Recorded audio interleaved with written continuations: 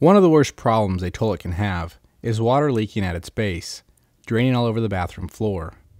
When this happens, major damage can occur to the home structure if the problem is not corrected immediately. Within a few days, the water gathering at the toilet's base can penetrate the subflooring, walls, and cabinets. This can promote the growth of mold and mildew in this area, which can be very costly to repair. Water leaking at the toilet's base is usually caused by one of a few factors. The toilet base could be cracked, the toilet is not properly mounted to the toilet flange.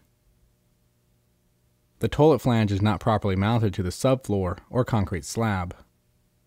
In an extreme circumstance, there could be hot water cycling through the toilet, melting the toilet's wax ring. Or even less likely, the toilet could have a manufacturing defect. Regardless of what the cause of the problem is, once leaking is noticed, turn off the water at the water supply valve connection. Keep in mind that the water in the toilet's bowl and tank might need to be removed by other means than flushing the toilet, given that flushing the toilet might cause more water to leak onto the bathroom floor. In order to properly evaluate the cause of the water leak, the entire toilet should be inspected for physical damage. If the cause of the toilet's leak is a crack in the toilet itself, the toilet will need to be removed and replaced with a new model. Regardless of the inspection's outcome, the toilet should be unmounted and the flange and sewer inlet examined also. Before removing the toilet, take note whether the toilet rocks back and forth.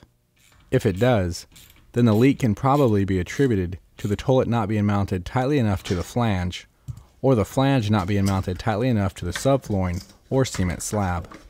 Once the toilet is removed, check the condition of the subflooring.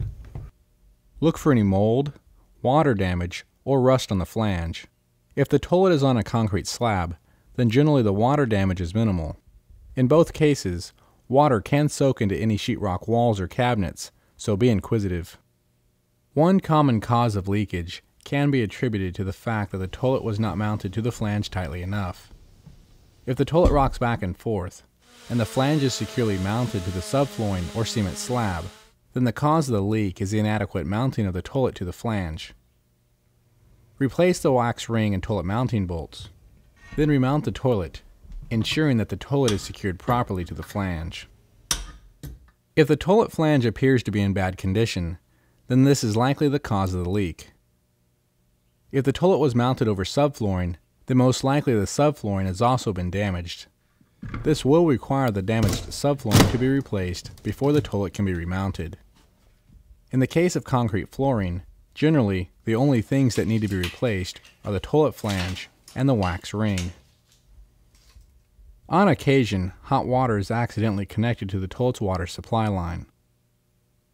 Because the toilet is cycling hot water every day, the toilet's wax ring will melt. Once the wax ring is melted, the watertight seal between the toilet base and sewer inlet is gone, causing water to leak onto the bathroom floor. If this happens, the wax ring will need to be replaced and cold water properly routed into the toilet's water supply system. Finally, in a very rare occurrence, a toilet base can be manufactured unlevel and will not sit evenly on the floor. This toilet is an example of that. Given that the toilet never did sit flat on the floor, the wax ring slowly failed to seal the toilet base to the sewer inlet. This caused flooding in the bathroom. In this case, the toilet needs to be replaced with a new model.